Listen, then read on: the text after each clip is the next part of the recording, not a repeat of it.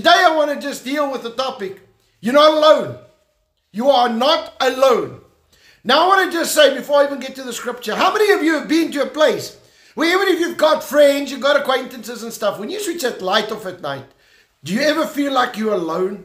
Do you feel like, God, I can't take this anymore? I can't push through anymore. I can't carry this load anymore. Whatever the crisis is, whatever the issue is. I want to tell you right now, you are not alone. Right? God loves you. And God is busy with something in our nation. And God is going to bring us through because we are His children. Hebrews 13, verse 5. And I'm just going to deal with the, the second half of the verse. Okay, Hebrews 13, verse 5b. All right, for Himself has said, I will never leave you nor forsake you. I want to tell you right now, particularly in this time, I want you to know it might look like a crisis time. I want you to know God has not left us, God has not forsaken us in Jesus' name. In fact, God is calling on the church. God is calling on the church and said, Church, stand up, use the authority that I've given you. But if you are in that crisis, if you are in that turmoil, you know, last night we were monitoring and keeping tabs on people all over the place. We were constantly on the phones and stuff, just checking that people are okay. So I want you to know something. We need to know that God is with us. When you're in that time of crisis, know that God is right there with you. In that time of need, God is right there with you. And so if you are not in that direct, immense pressure of crisis, you know, it's something when you phone somebody and they're in that intense pressure because people are walking past their properties or whatever's happening. I want you to know, and you pray, and the peace of God comes in there. And all of a sudden, they feel a shift in the atmosphere. And then there's calm for the rest of the night. I want to tell you right now already, I've had lots of testimonies of supernatural things happening in the neighborhoods or around the areas just in last night. Okay? And so I want you to know, saints, we are in this together. We are in this together. You are not alone. There are men and women that are praying, men and women that are calling on God, men and women that are creating a spiritual umbrella over this nation in Jesus' name.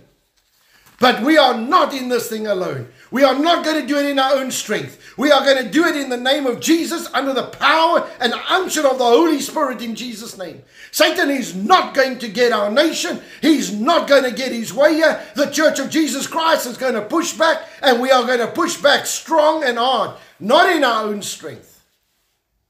We are going to do it under the power of God, releasing God's word and releasing the anointing and the power of God over our nation.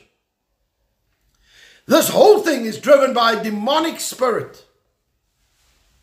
And God, as we pray, is restricting those demonic spirits. Excuse me. And angels are being released all the time to minister and to do things in the, in the places where we are praying. And so, saints, I want to thank you, first of all, for coming together with the big prayer meetings and praying together. But secondly, I want to thank you for committing to pray 24 7 over our nation. So that if we're ever sleeping, there's somebody praying and keeping our nation before God. Now, I want to make something very clear. This is not just for a crisis time.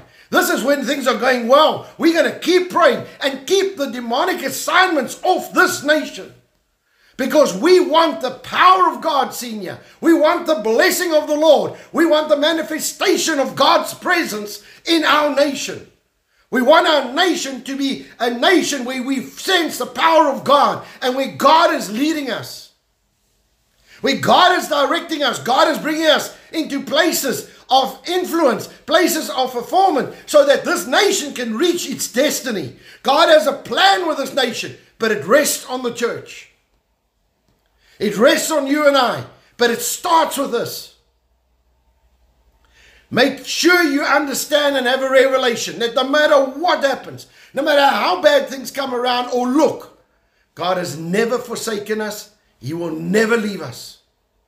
God is right there with us in Jesus' name. So today, as we come around the table, I want us to celebrate the price that Jesus has paid in Jesus' name. Let us thank God that He has paid the price and He said that He will never leave us nor forsake us. We are never alone, no matter what the world may say, and we get a supernatural ability to fulfill what God has called us to do. So on the night that Jesus was betrayed, He took bread and broke it, and He said, This is my body that was broken for you. Take in remembrance of me. He took the cup and he said that this is my blood that was shed for you. Take in remembrance of me. The body of Christ was broken for our physical and emotional healing in Jesus' name. The cup, the blood of Jesus, was shed for your salvation, protection, and provision in Jesus' name. Let's pray. Lord, we come before you this morning. We thank you that you are in control.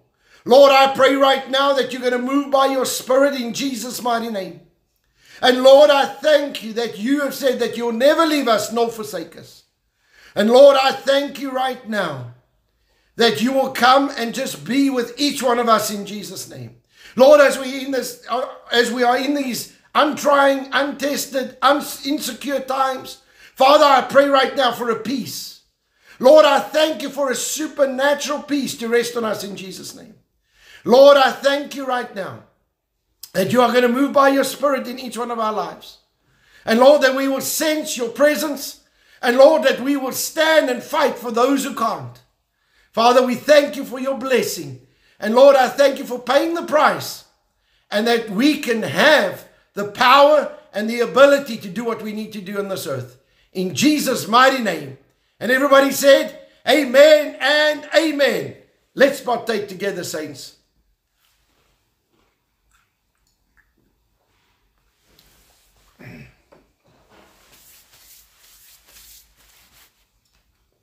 Lord, I thank you right now for a supernatural healing. Lord, I thank you that every single symptom in our body just leave us in Jesus' name. Lord, I thank you that we are healed because the word says that the body of Christ was broken. By his stripes, I was healed. Lord, I thank you that your body was broken for my healing. And I thank you that I walk in divine health today in Jesus' mighty name. And everybody said, Amen and amen. Well, saints, I want to just encourage you. I've, I've been, as I said, we've been monitoring things through the night, praying with people, just bringing peace and releasing the power of God wherever we can. But I want you to know God is busy with something in our nation, and God is using the body of Christ. And I want to say thank you for standing in that gap. All right, don't think because we're in a place that's, that's quiet and you're okay at this point that it can stay that way. This thing can turn if we don't keep fighting in the spirit. So we keep praying, we keep standing, we keep pushing, and we know that God is busy doing something in Jesus' name. And so I want to encourage everybody, please, if you can, 8 o'clock tonight, we've got a prayer meeting. Come and join us. And the more that is standing together, and you know what is significant? Is that as you join, you are joining from all over South Africa. This is very significant for me. That you are joining from all over as we go. We are praying peace, even over your area. Wherever you are, we standing and we say, God, we call on the peace over the area where I am right now. Protection over the area. You might not be in war right now. You don't want to be in war. And we are going to pray this thing through, but it's not going to be done through an individual. It's going to be done through the body of Christ. And we are just going to get people coming to pray on that Zoom session. Okay, these are just South Africans who love the Lord and say, Come, let's pray. And we are going to pray and we're going to seek God and we're going to constantly keep an intensity of prayer and an umbrella of God's anointing over our nation in Jesus' name. Because remember, we are fighting a spiritual thing that's trying to take our nation. It is not a natural event. The natural is impacted by the spiritual. You change the spiritual, the natural changes. And so, right now, in the name of Jesus, we are going to keep bombarding on the spiritual and we are going to break this thing. And we're going to bring the peace of God and the anointing of God and the power of God. And there's going to be total peace in our nation. Total peace. There will not be a civil war in our nation. There will not be anarchy in our nation. Jesus Christ is going to help us. The church is going to stand and spiritually be the buffer. And we need to report for duty. Saints, we call ourselves Christians. We need to act. And so I'm really serious about this. For the next few days, saints, we have to stand. We have to pray. It doesn't help us sitting down and say how terrible this video is and how bad this is and how bad that is. That's not going to change anything. What is going to change is when we call on the living God and say, God, help us. I know that I'm feeling passionate about this, but I am passionate about our nation. I am passionate about our lives. I am passionate about every individual in South Africa. And so I'm going to call on you again and say, 8 o'clock tonight, guys, we are back. We are going to pray together. We are going to push this thing through until we see the victory in Jesus' name. That there is absolute peace in our nation. That the spirit that's trying to grip our nation has been taken care of in the spiritual. That God has helped us in Jesus' name. And so, right now, we're going to pray. We're going to pray over our nation in Jesus' name. Lord, I come before you today. And Father, I thank you, first of all, for the miracles that have taken place last night. Lord, wherever there has been miracles, wherever the testimonies where you've done something supernatural. God, it's impossible to know all of the testimonies. But Lord, I pray that you're going to move by your spirit every second of the day in Jesus' name. Lord, I thank you that we as the nation can stand together this morning and we can just release a calm and a peace over our nation. Lord, knowing that you'll never leave us nor forsake us. Lord, I pray right now that you're going to move by your spirit in levels that we've never seen before. Father, I pray right now that you'll bring peace even to the looters. Father, I pray right now that that spirit that's driving them, that it will stop in Jesus' name. We come against that spirit that's driving these looters in Jesus' name and we command it to cease. We command that assignment to be stopped in the name of Jesus. And Lord, we release peace over our nation. Father, we thank you that no calamity is going to continue in our nation, but that the peace of God is going to be here. And God, whatever is a demonic agenda behind the scenes, we come against that this morning. Wherever there is a plan to change and shift the status quo of status quo of peace over our nation. We come against that in the mighty name of Jesus. Lord, right now, you've just shown me that there is an agenda behind this thing. God, right now, I thank you that that agenda stops in the name of Jesus. It will not take place. Lord, we stand in agreement right now, and I thank you in the mighty name of Jesus Lord, that you are going to do something supernatural right now in Jesus' name. Lord, that this is going to de escalate. Lord, whatever's taking place right now, and whatever's about to happen in the next few hours, Lord, right now, I reverse this thing in the name of Jesus. Lord, I stand in the gap with the nation, and we stand together. And Lord, I pray over the next few hours, the meetings that are going to be taking place, God, you are showing me right now, meetings are going to be taking place in the next few hours, and it's going to determine the de- destiny of the next few months. God, I pray in Jesus' name that this thing be done under the unction of your Spirit in Jesus' mighty name. Lord, I come against this agenda right now. I come against this demonic force that wants to take our nation into a different direction. Lord, I thank you right now that I reverse the plan and the purpose of the evil one.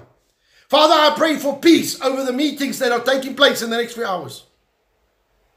Lord, whatever's happening behind closed doors, God, I pray that you will move by your Spirit right now in Jesus' name, and that the outcome of the next few hours will be positive for our nation.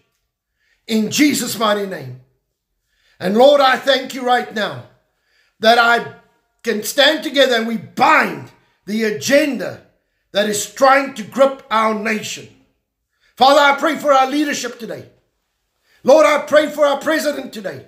Father, I thank you, Lord, that you will protect him, Lord, that you will guide him and you will direct him in Jesus' name. Father, I thank you right now in the mighty name of Jesus that you are going to move by your spirit in Jesus' name over our leadership in our nation right now. Father, I thank you, Lord, for creative ideas for creative ideas, God given ideas. Lord, you said that if we pray for our leadership, you've got him in the leadership in the palm of your hand. You will direct him in the direction he should go. God, I ask for that direction today. Lord, that the direction of our nation will be a healthy one today. In Jesus' name. Father, we thank you right now. We can release your blessing. We can release the peace. And Lord, I pray for every single person who has even lost their homes in last night, who didn't even have a place to sleep last night. Father, I pray right now that you're going to help each and every person who is struggling. In the name of Jesus, we pray for our nation. In Jesus' name. I'm going to call right now. I'm calling for the intercessors. I'm asking that every one of the major intercessors, please, is very urgent. I'm asking from now until 12 o'clock today, please just call and activate your intercessory networks and pray for our nation. All right, we have to cover the decisions that are being made this morning under prayer. So please, I'm calling, please spread this, get the word out. Please, I'm calling for the intercessors to pray for our nation this morning. All right, this is not necessarily the, the stuff that we see, this is stuff behind the scenes. God is showing us right now we need to pray. Intercessors, please be activated. Let's pray over this COVID situation. Lord, I thank you right now in the name of Jesus that we come against this COVID situation in Jesus' name.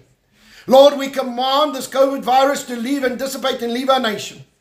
Lord, I pray right now that these curves come down in Jesus' name. Lord, we declare life over our nation. We declare blessing over our nation. We declare prosperity over our nation. Father, I thank you that our economy is supernaturally going to turn. And Lord, I pray in the midst of all of this, I pray your blessing over every business in Jesus' name. God, I pray for every business that has a Christian in it. Father, I thank you that they raise the altars and raise the standards. In Jesus' name. Father, I pray that the Christians will not get slack now. Lord, now is the time that we stand and we build the altars in our in our businesses and we pray for our businesses. I pray for supernatural deals supernatural divine connections, divine contacts, and divine contracts in the midst of this economic situation. Father, I pray your blessing over the businesses in Jesus' mighty name. And everybody said, Amen and Amen. Saints, we are really in a strategic time right now. I'm sorry if I've just changed the communion a little bit, but God is busy speaking to me as I'm sitting here. And we have to be sensitive because there are things going on that we need to take and pay attention to. And we need to be involved. Because it's the, up to the church to be able to sit down and restrict what Satan has planned. And so, right now, I want to just say thank you very much to every believer. I want to ask you, please, if you don't mind, go to a prayingsa.co.za Go and book, please put it on the screen, a prayingsa.co.za. I want you to go book yourself a spot, just one hour. Go book yourself a spot and say, listen, I'm going to pray for my nation in that hour. We don't have to get together. You pray in your own home. On that website, you go down to the bottom, you can download the PDF with a whole lot of scriptures that you can pray scripture. You pray those scriptures over our nation. It's all you have to do. Let me tell you something. If the nation does that, we are going to bring a supernatural anointing over our nation. All right? And so right now, we have got people praying. I'm so excited. We've got people praying 24 7. Every single hour of the day, there's somebody praying and lifting up our nation. But we don't want one or two. We want one in every town, one in every block. And we are going to lift up our nation for the Lord Jesus Christ. And we're going to call on God's mercy to have mercy on our nation. Let me tell you something. If you look at the actions of some of the things that we have done in our nation, God should have eradicated us. We should have serious judgment. And so we need to know that as we call on God's mercy, we are trusting that God is going to do something by His mercy, not because we deserve it. And so, saints, I want to just thank you. I want to thank you for standing together, but I want to ask you, please, this is really important too. Every time, just even if it's just for this week, every time you're on any of our feeds, please hit that share button. You come joining the Zoom session, uh, or if you're watching on Facebook, watch the Zoom prayer thing, hit that share button. Hit the communion share button. Hit the teaching stuff. Why? We're getting it out. We have to get it out. There is a fear that's trying to grip our nation. And so, saints, let's do this with might and with valor in Jesus' name. All right? So, please, I'm asking again, intercessors, get the word out and pray in Jesus' name for this morning. All right, let's do our declaration. In Jesus' name, I declare by faith that I walk in divine favor. I have preferential treatment. I have supernatural increase. I have restoration. I have increased assets. I have great victories. I have recognition. I have prominence. I have petitions granted. I have policies and rules changed. I have battles won that I did not have to fight. All because of the blessing and the favor of God in my life.